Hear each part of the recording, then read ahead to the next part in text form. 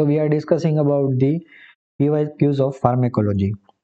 So the the question is that which is not a prokinetic agent? What is a prokinetic agent? Prokinetic agent is uh, those compounds that increase the gastric emptying by the coordinated propulsive motility.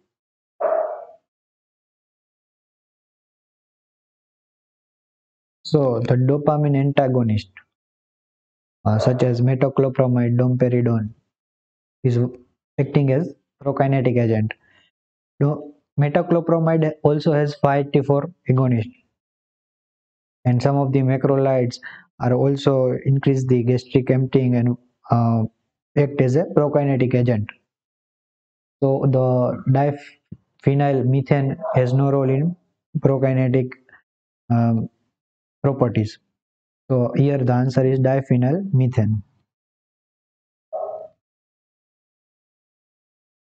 Here the uh, you can see the uh, reference as well. Uh, page number 663 to 665 you can read the prokinetic drugs. So let's discuss about some of the points regarding prokinetic agents. Let's discuss about the prokinetic drugs.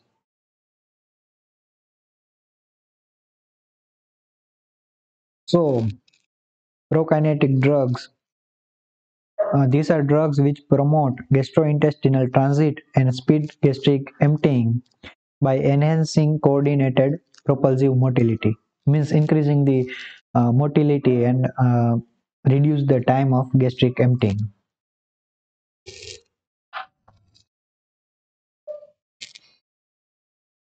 one of the commonly used drug as a prokinetic agent is metoclopramide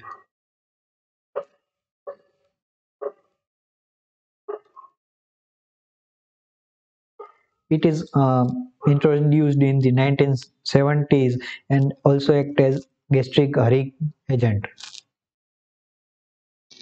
Metoclopramide acts on GIT as well as CNS, GIT and effects.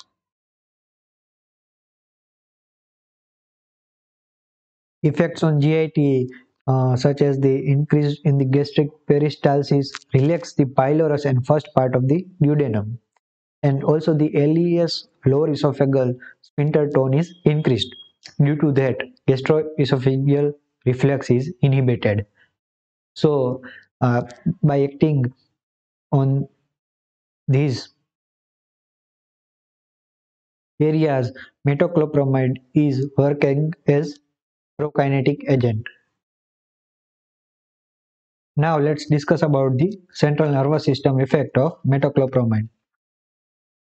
It acts effect as an effective antiemetic acting on CTZ area and by acting on CTZ area it blocks the apomorphine induced vomiting. It also uh, gastro has gastrokinetic effect so it also contribute to antiemetic effect. Basically gastrokinetic effect of the metoclopramide is contributing to antiemetic effect. Then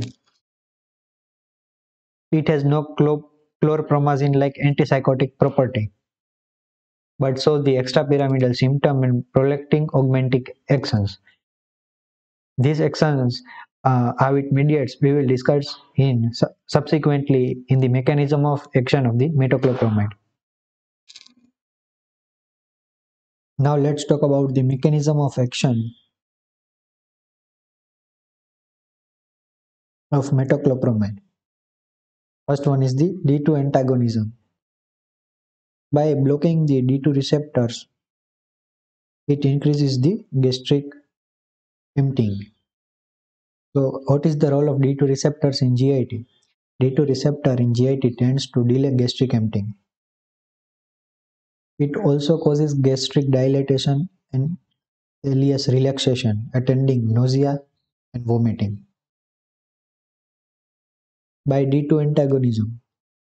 Metoclopramide increases the gastric emptying and also increases the lower esophageal sphincter tone by augmenting acetylcholine release. CNS effect is due to D2 antagonism. The other mechanism is by 5-HT4 agonism. Metoclopramide acts in the GIT to enhance acetylcholine release from myenteric motor neurons. This results from 5-HT4 receptor activation on primary afferent neurons of the enteric nervous system, which in turn activates the excitatory interneurons meaning that by uh, acting on the 5-HT4 receptors it will increase the acetylcholine release and then mediate the um, gastric emptying. Synergized by bethanechol attenuated by atropine means if you block the cholinergic effects uh, with the atropine the effect of metoclopramide will be reduced. And by uh, enhancing the cholinergic activity you can enhance the metoclopramide effect. At high doses um, metoclopramide also uh, antagonize the 5-HT3 receptor it enters the brain crosses placenta and also secreted in the milk and by increasing the rate of gastric emptying it uh, alters the rate of absorption of some drugs such as aspirin and etc. And also abolishes the effect of levodopa by blocking dopamine receptors, mainly in the basal ganglia. The side effects are uh, sedation, dizziness, loose stools, and muscle dystonias, are mainly seen in the children. And the CNS side effects are Parkinsonism, galactorrhea, and gynecomastia due to the D2 receptor antagonism.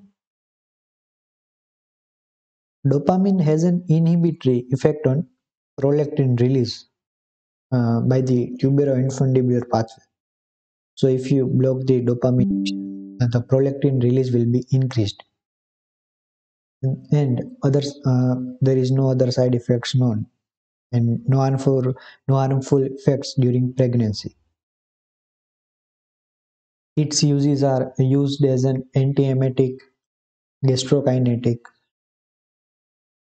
When emergency general anesthesia has to be given and patient has taken food less than 4 hours before. Meaning uh, you have to, uh, while giving the anesthesia, you have to empty the stomach. So to empty it, uh, metoclopramide is one of the choice. Then to relieve post-vagotomy in the dyspepsia, uh, this drug also succeed in stopping persistent hiccups and um, also used in GERD. But nowadays, a proton pump inhibitor is uh, used. Another drug is the domperidone. It is also a D2 receptor antagonist. It is less efficacious than metoclopramide. Its prokinetic action is based only on D2 receptor blockage. Right? Um, no effect on uh, 5-HT4 or 5-HT3 receptor. Not attenuated by atropine because it has no role in acetylcholine release. So if you give atropine or not, its effect will be not be attenuated or differ. Crosses blood-brain barrier poorly. Extrapyramidal symptoms are rare, but hyperprolactinemia occur. And antiemetic action is due to uh, CTZ area. CTZ area is does, uh, does not uh, protected by the blood-brain barrier, also called as circumventricular organs uh, or areas.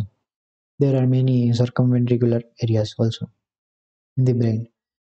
Now, a few side effects are dry mouth, loose stools, headache, rashes, uh, galactorrhea are generally, but generally mild. And uh, cardiac arrhythmias have developed on intravenous injection. So these are the two main drugs, uh, metoclopramide and domperidone, uh, which are used as uh, prokinetic agents.